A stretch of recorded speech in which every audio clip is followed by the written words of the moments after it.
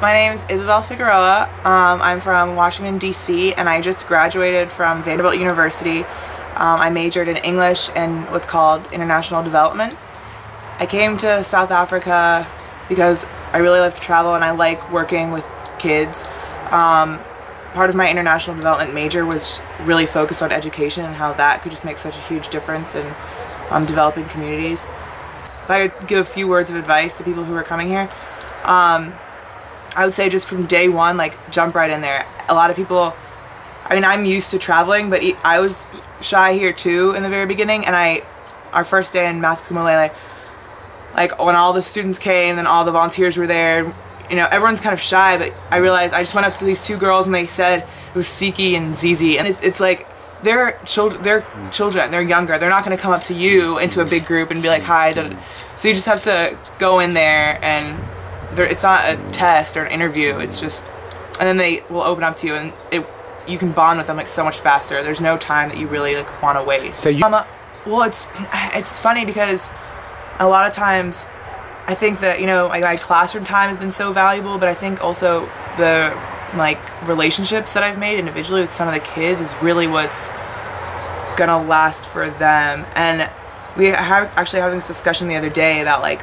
playing favorites. And you know, when, you, when you're in the classroom, it's actually absolutely 100%. You have to be fair with, all the kids, but after school, you can't help who is coming to you and wants like an, another story or who's coming to you during interval, you know?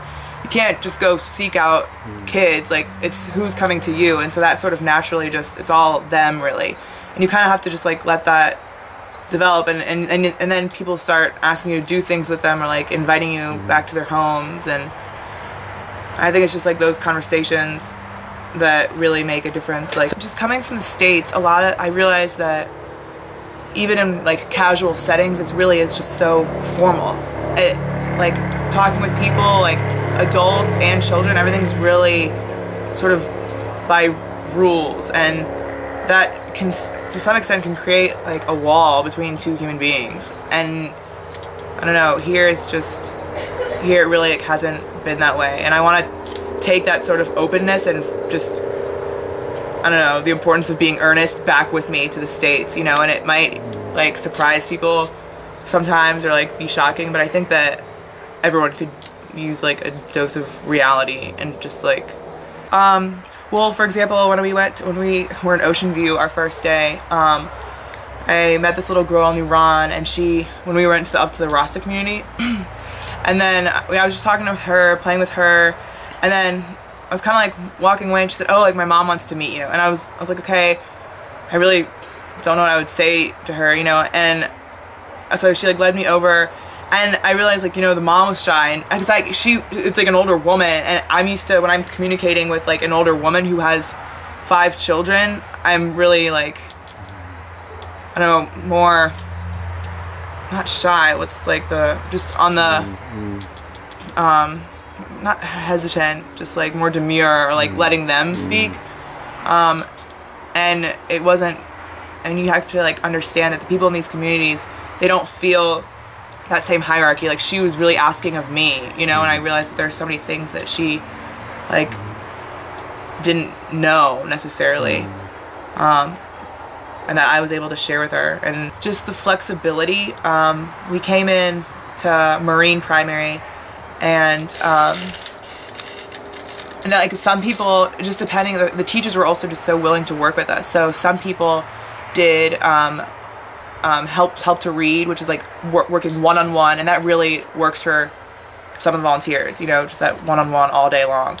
Um, other people were able to just join a teacher in a classroom, and we're just in that classroom all day. And then people like myself and two of the other volunteers, we took groups of five out of the classroom to read.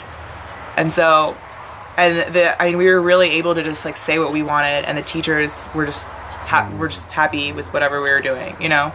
And I think that is really important to like let volunteers feel out what they just feel the most comfortable with because that's what they're going to be the most mm. successful in. Like what you want and what you feel really good about is what is going to, you know. Mm. So that's been really good. I think that especially with American volunteers um, as opposed to European or other like African or anywhere in the world, volunteers from anywhere else, um, they we were coming with a certain um, set of expectations and it's just we have a, a higher standard of perfection. I don't know how to explain it. Like we've all so the people that are volunteering for these types of things like we all believe in higher education. We've all been a part of it. Um, and you know have jobs that expect like the very best. And so we're we're just used to being so competitive in, in the states.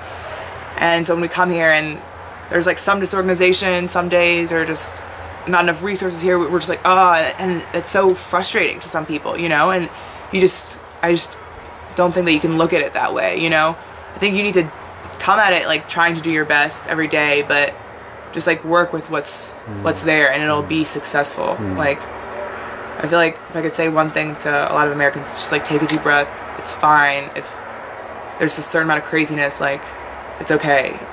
There are some people that are benefiting from that you know it's been such a really positive experience like right, all around. I really can't think of it's been really great. One I mean I guess for me, I'm just happy that I'm like staying longer because I feel like I've just made, I'm just, I don't know, like today, for example, I, or last week I met one of the parents, like they came to school and I met them and we started talking and then today I was invited back to a house like for dinner, like this little girl, Nuran, she said my mommy's been asking like when are you going to come back?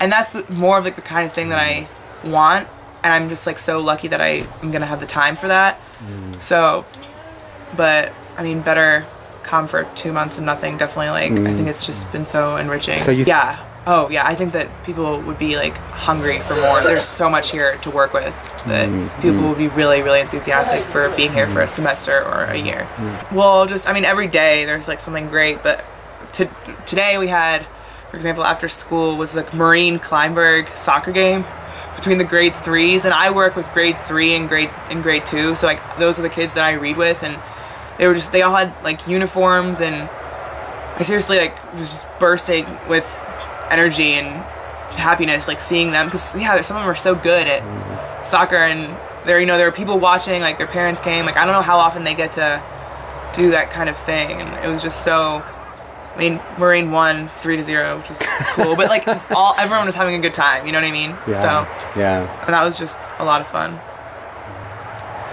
I, it's been a great experience. Like, I love WorldTeach. I think that everyone should do it.